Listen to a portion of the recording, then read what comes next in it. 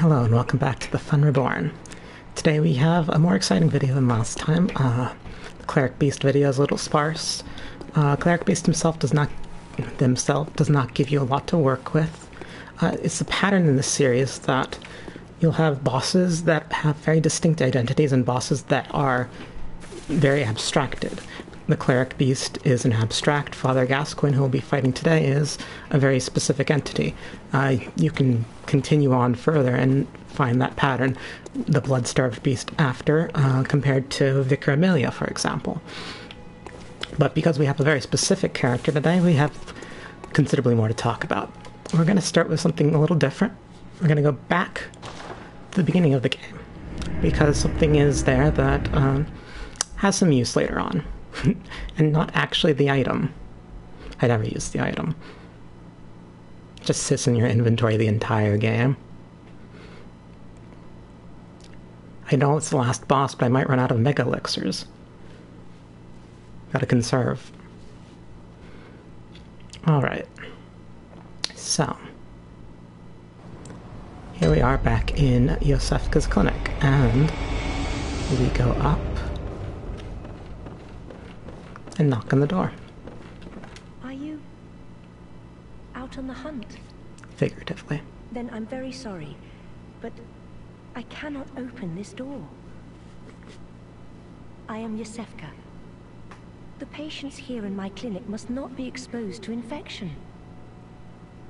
I know that you hunt for us, for our town, but I'm sorry. Please. This is all that I can do.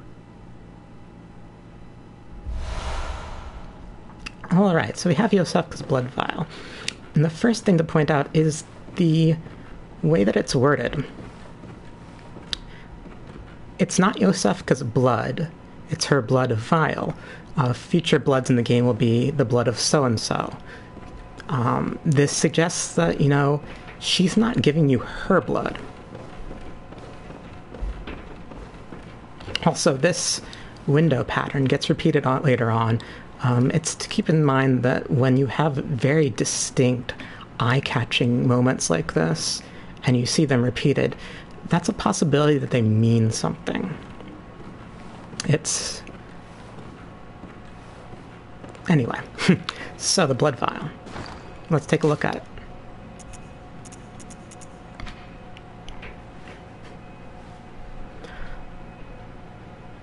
The one thing to point out is that, unlike mm, virtually all of the blood in the game, this is not red.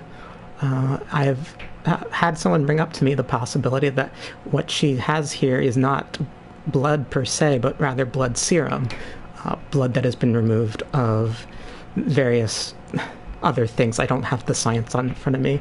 I do have notes for this, I just can't see them where I have my PlayStation recording. Anyway, the blood vial is potentially serum, and what uh, and what is a serum used for? Well, as we know with COVID right now, you can use serum to pass on antibodies. The reason her patients can't get infected is because if they get infected, they well, actually, doesn't make a lot of sense. Um, she's trying to keep her science clean, untainted, as it were. So, we got the blood vial. We talked a little about Iosefka. I hope I haven't skipped anything.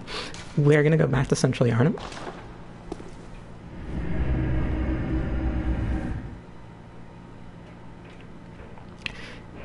Uh, I should be setting stuff up during the loading screens, but, you know, I don't really have anything at the moment.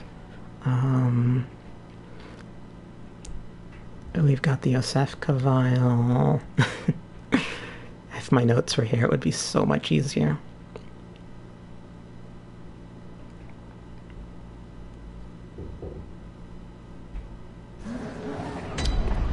Alright. Multiple ways we could go to our next location. I'm going to take just the starter typical run. Why am I fighting?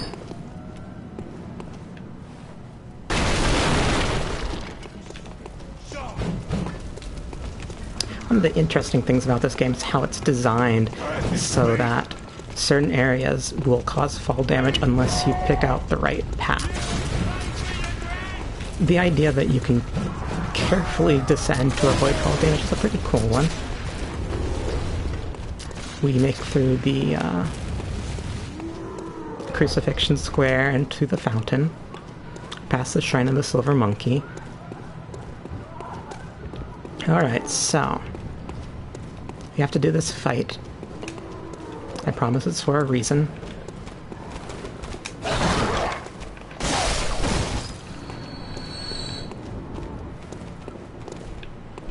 Yeah, come on, I don't want to go all in.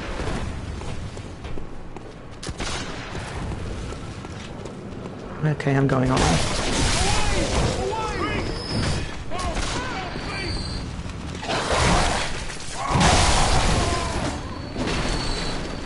I went all in.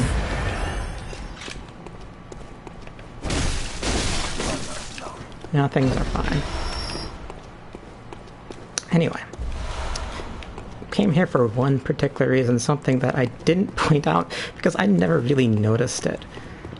But they're extracting what looks to be blood vials, perhaps blood uh, pungent blood cocktails, from the well system. You have other indications of water uh, here with the uh, pump. Wow. You are so annoying. I'm talking here. Come on. Jesus, I hate that.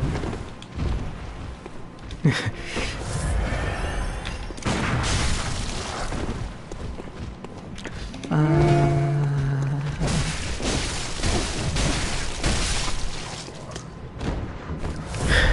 You'll notice me trying to use items I don't have because I've just been playing Dark Souls 3. Anyway, we've got the well. They're extracting blood from it. We've got the water pump. And something I thought I would bring up later, but I'm going to now. We have sandbags. Sandbags could be used for uh, military fortification. They've got a lot of guns hiding behind them, would make sense, but I don't recall ever seeing an enemy use it like that. There might be an example that I've just forgotten. Uh, but sandbags would be useful if you were dealing with, say, floodwaters. Just a thing to keep in mind. But here is what we really came for. Who are you? I don't know your voice, but I know that smell. Are you a hunter? And please will look for my mum. She never came back from the hunt, and she went to find him. But now she's gone too. I'm all alone and scared. Really? Oh, thank you. My mum wears a red jeweled brooch. It's so big and, and beautiful. You won't miss it. Oh, I mustn't forget. If you find my mum, give her this music box.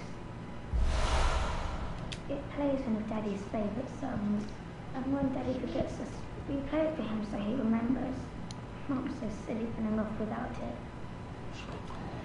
Ah, so there's something there that I've never noticed before, but is actually really, really fascinating. Um, we know from this description that her dad is almost certainly Gascoigne. Um, and it's going to be something we use shortly. What's funny though is that she doesn't recognize your voice, but she recognizes your smell. Um, this kind of calls back to, in one case, um, I believe Shinalakor, I might be mispronouncing that from uh, Dark Souls 2, always talking about your curious scent. But it could also refer back to the, um, the variant fight in Dark Souls 1, where if you do the DLC first, uh, Sif recognizes your smell. That's interesting. So, this one's a very strange uh, fellow. He has a weapon that is unlike most of the ones here, and he has dialogue but I don't know that I want to wait around and hear it all, so.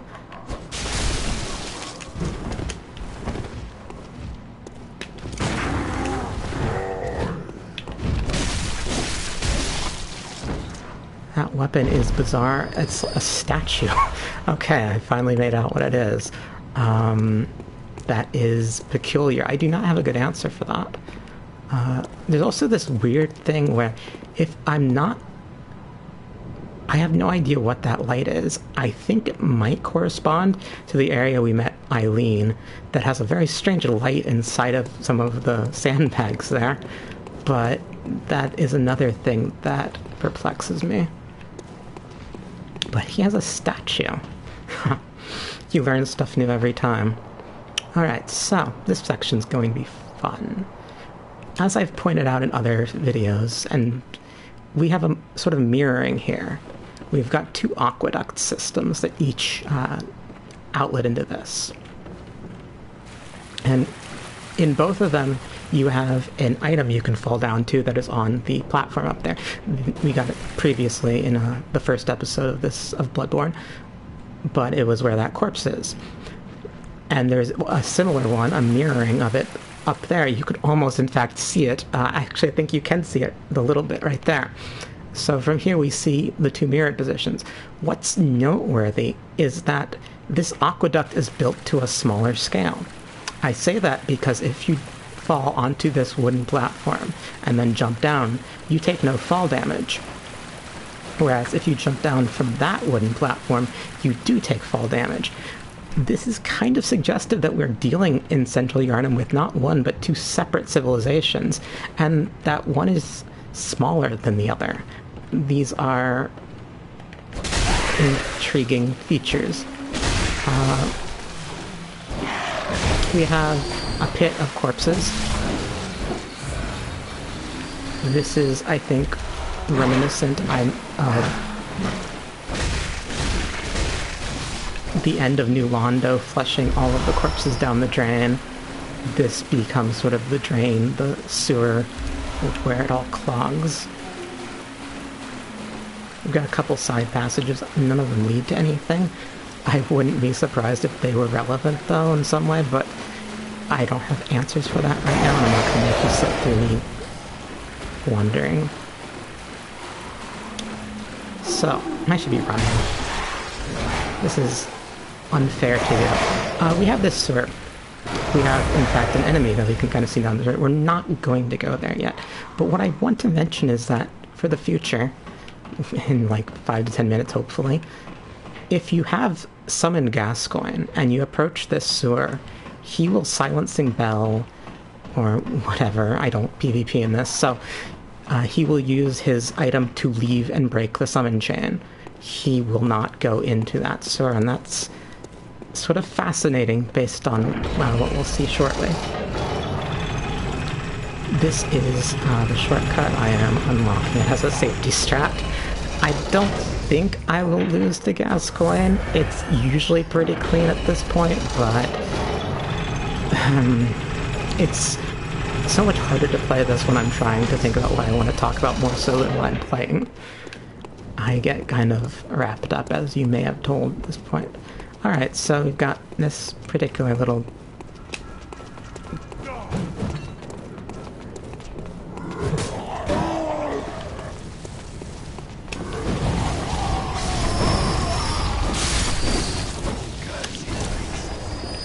that ball gets a lot of people who are playing for the first time.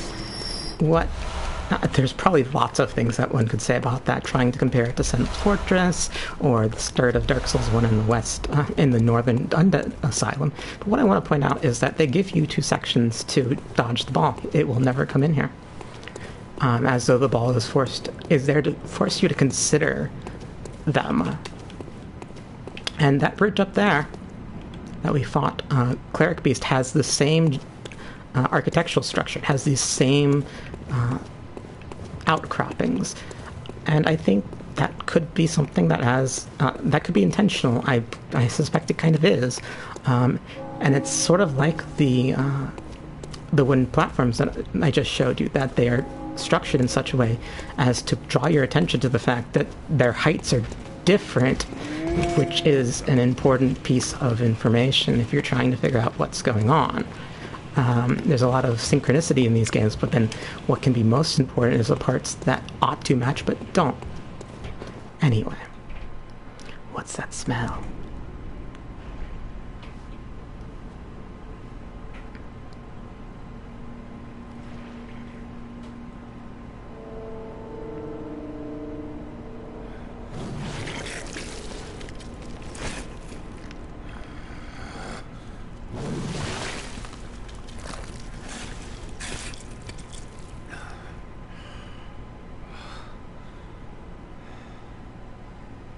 Beasts all over the shop. You'll be one of them, sooner or later.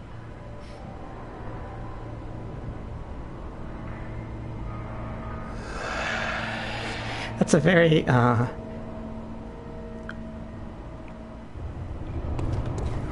primate looking mouth. That's funny. Anyway, I prefer to fight Gascoigne up on the stairway. He doesn't handle stairs especially well, but currently he's stuck on a. There we go. Uh, that. I don't always handle stairs well myself. I don't want to be up. I want to be down. Oh dear. Oh, I. I tried to heal. Um, this is not good.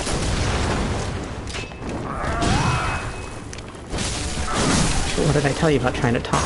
Anyway, that that axe grind that he does, very reminiscent of Artorias. I think um, it's been a while, um, but it also gets replicated later on by a patient in the uh, the research hall. Don't worry if you don't know what that is, but It's enough to make a man sick. it's always worth it to pay attention to parallels like that.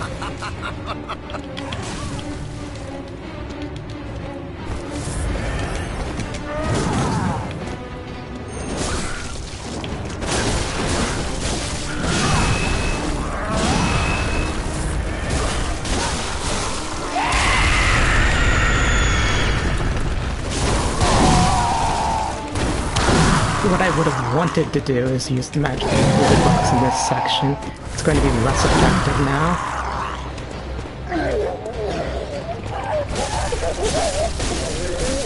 But this is by far the most dangerous section. Anyway, that was messy, but fine. I'll accept it. Get the Oedon Tomb key. We'll be using that shortly. We'll look at it shortly, but I want to focus right now on this other bit.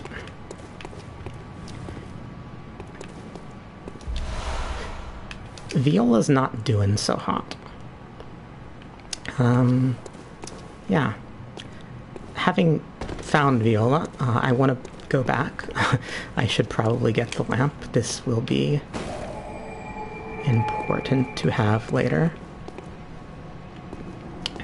Her being up there on the building as you enter kind of makes this arena almost a parallel of the Scorpioness arena in Dark Souls 2.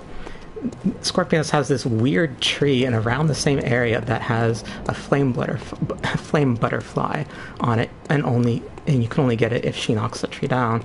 And I feel like that's reminiscent of this section.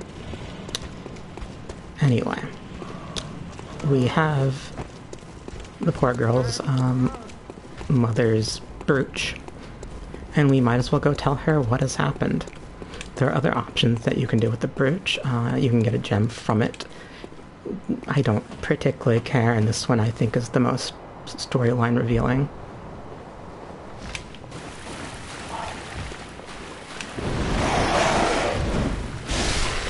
I don't want to deal with that bird at the entrance.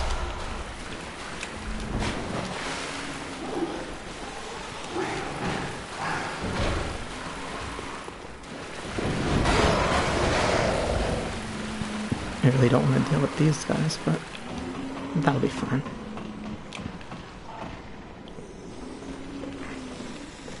Look how small this side is compared to that side. it's such an such a revealing feature.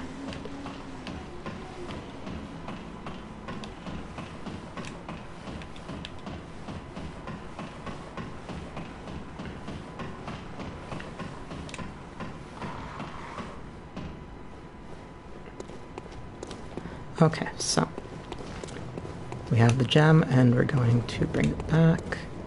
I suppose I should look at it before. Uh, I did look at it, didn't I? No, I looked at the music box.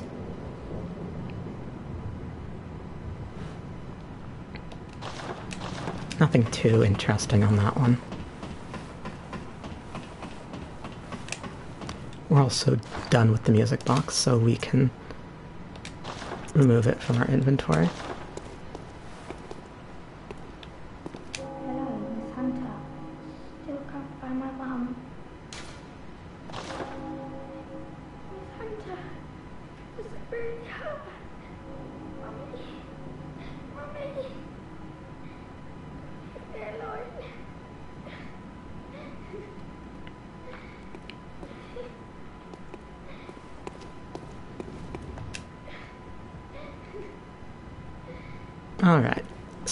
Progress the quest, we need to quit out. You can do other methods, but this is going to be the fastest one for our purposes. I also want to mention a parallel right now while we're doing some loading of the music box to the Malcontent Ring in Sekiro. I don't have, I don't remember Sekiro well enough to make that case at the moment, but I think there's some interesting parallels between the two that maybe answer something about the story of the Kingfisher. the Sekiro playthrough, once we actually get to it, is going to be sort of the first time I've applied most of this to Sekiro, so that's going to be an interesting challenge.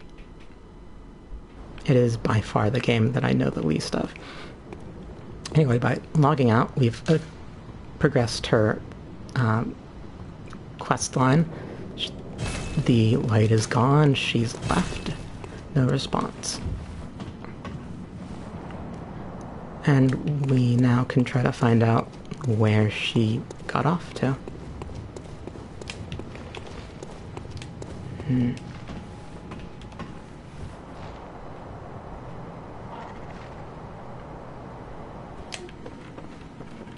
I won't bother babbling to fill in dead space. This is just going to be a fairly short run.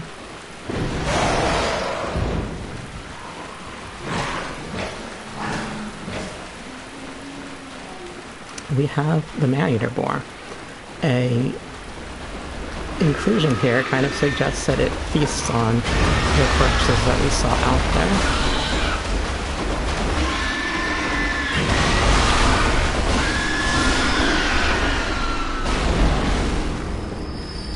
Get some blood vials, but it has a second item the red messenger ribbon.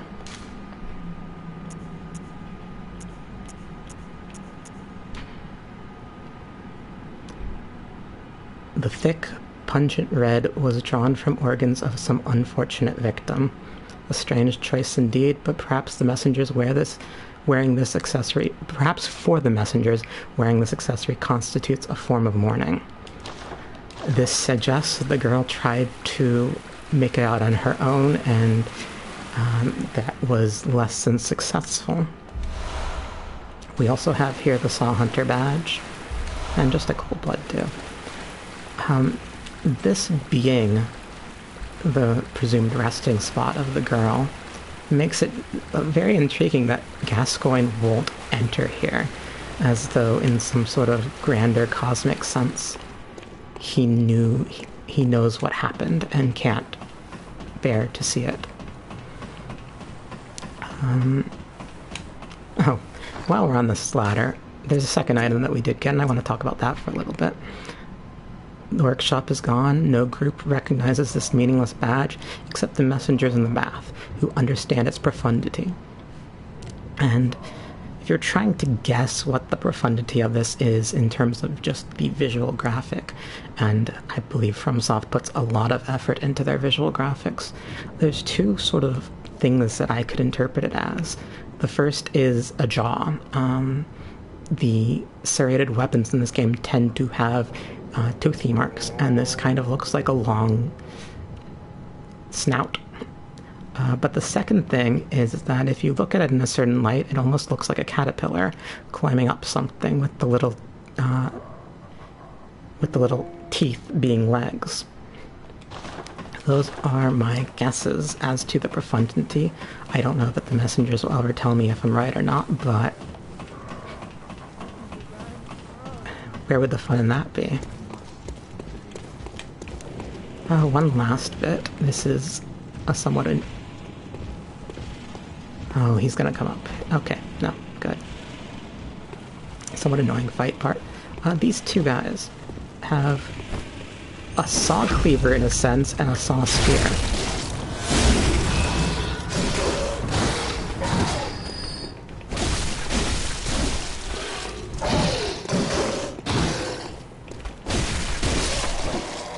Of course, there's no saw to them, but they're a cleaver and a spear, which is maybe symbolic. I can't say for sure, but it's intriguing because the saw cleaver and the saw spear are two of the weapons in this game that are not really attached to anyone in particular. They're just there. And the saw uh, hunter badge is an item that gives us the ability to buy all of the starting items that we didn't unlock, which includes the saw cleaver. And we found the saw spear earlier in the uh, boat room. The last thing I want to mention about this particular area is this circular, relatively circular pattern of gravestones is peculiar. Um, typically, cemeteries would not have uh, have their uh, bodies positioned in such a way. What I think this is supposed to be invocative of is the idea of a mushroom circle. I say that because I think there's a parallel in this game between uh, tombstones and mushrooms, in that the mushroom is what decomposes the corpse and turns it into something new and useful. Okay, with that said, we have some interesting architecture, stuff I don't really have anything to add about. There's also um, these fireflies, which I or or pollen, which I think is particular to this room. So let's talk about Oedon. We use the key to open this, and there's a question here of well, there isn't really much of a question. This is presumably Oedon's tomb, and this is his chapel. Um, but it could work the other way around.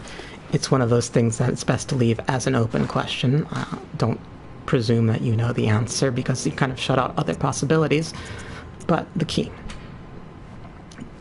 Beyond the tomb, Oedon Chapel can be found, which kind of suggests my initial interpretation, so maybe that does that, that one's actually decided perhaps in the center of the cathedral ward. Only today the church is abandoned, and some say the residents of Oedon have all gone mad. So what's really fascinating about this description is residents of Oedon. Um, he's always described in other fe- uh, places as sort of a god. Uh, we find stuff about formless Oedon, uh, but this is a place that has residents. You could assume that it applies to residents of the Oedon Chapel. We don't usually talk about Oedon Chapel have uh, chapels having residents. It's usually more of a city type thing, but you could say that. The question then would be if the church is abandoned, how can residents of the Oedon Church go mad? Um, I suppose you could say it's abandoned because they've all gone mad and left and abandoned it. That is perhaps, you know, a ter- perfectly reasonable interpretation. But the wording of this is funny, and it's worth considering keeping in mind funny wordings. We have a very narrow passageway here, and this is extremely peculiar. A chapel for a tomb would usually have a very standard connection one another, but here we enter through the sewers. It's a room that's pretty evocative of a lot of places in Dark Souls 1, Dark Souls 3, various other ones. Um, you would kind of expect rats to be coming out of the sides here. We also have a bit of foreshadowing with uh, the chair. Some of you will know what I'm talking about, others will not. It's fine. The anticipation is part of the fun. We go from a sewer with a very through a very interesting passage. Uh, this structure is kind of replicated other parts in this game, I think possibly Dark Souls 2, but I'd have to go back and check on it. Um, we expect to enter a chapel, and what we enter is more of like a scholarly area.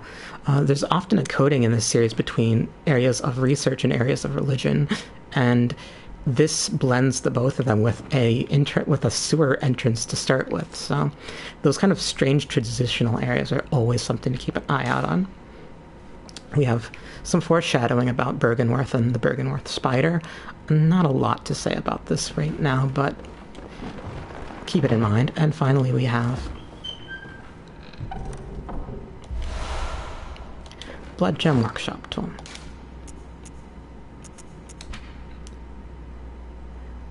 A misplaced workshop tool from the hunter's dream. The hunter who retrieves this can fortify weapons by kneading blood gems into them.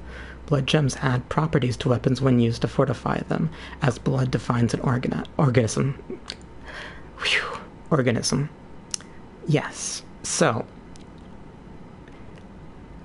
what's I think perhaps interesting in this wording is that uh, if blood defines the organism, what is the organism? The creature that you got the blood from, or the weapons that you are adding them to? And that may seem like an obvious answer, but given some of the weapons we get later on, it might not be quite so obvious. Um, we have our requisite spiral staircase, mercifully short. I think they learned that longer ones kind of get old. And we have the door opening, the threshold crossing.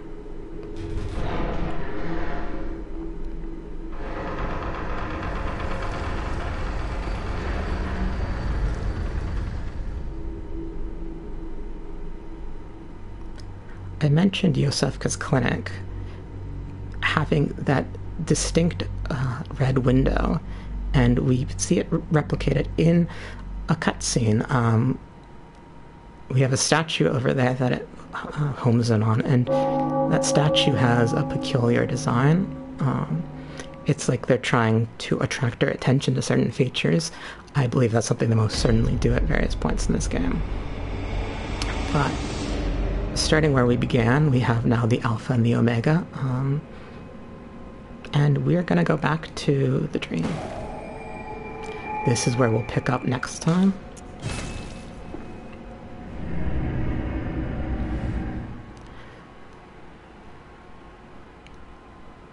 But we're not completely done. There are, I believe, two things we want to talk about in the dream the doll going missing. Um, and Gehrman comes back.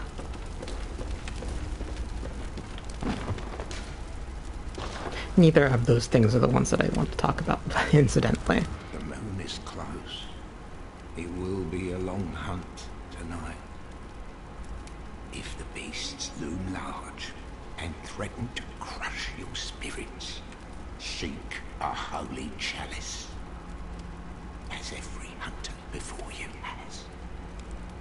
A holy chalice will reveal the tomb of the gods, where hunters partake in communion.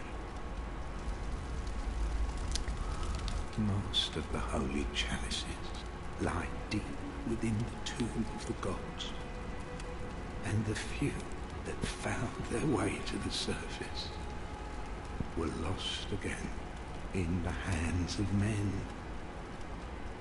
But if the old hunter tales remain true, one of the holy chalices is worshipped in the valley hamlet. Yet the town is in disarray. It was burned and abandoned for fear of the scourge. Home now only to beasts. The perfect place for a hunter, wouldn't you say?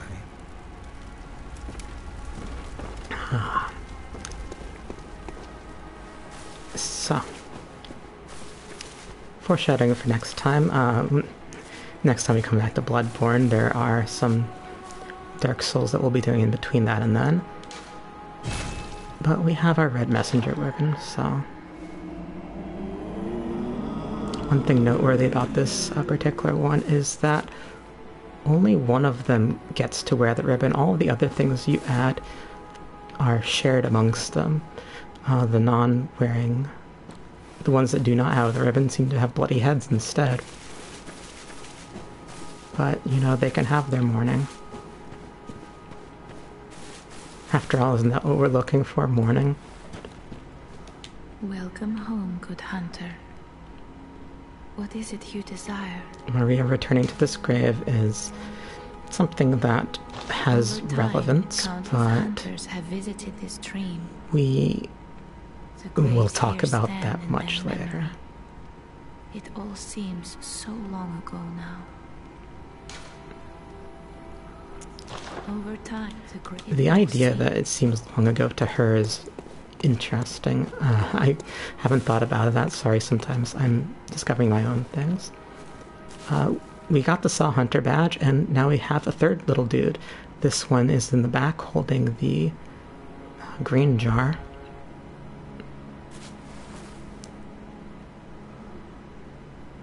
Our little messenger community is getting more and more elaborate. The final thing is that by defeating Gascoigne, we have acquired the rights to purchase his gear. Which, you know, for the sake of uh, roleplay, I think I will.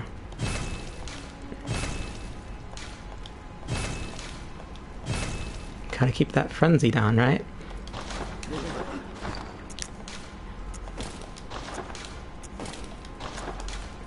Comes in handy uh, in some of the upcoming coming sections.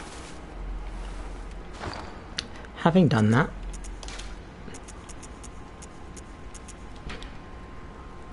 similar to hunter garb created at the workshop, only these are tainted by a pungently beastly stench, a pungent beastly stench that eats away at Gascoigne. Father is a title used for clerics in a foreign land, and there is no such rank in the Healing Church.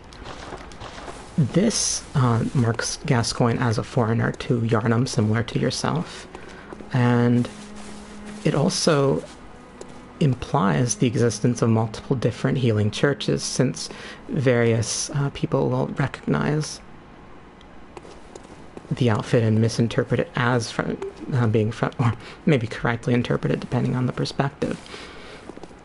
But it's worth it to keep in mind that, you know, the idea of foreigners is something that is very important in this game. Having said that, uh, we will be returning to Dark Souls 1 next time to finish off the first age and ring the first bell. Uh, thank you for watching, and uh, may you find your worth in the waking world.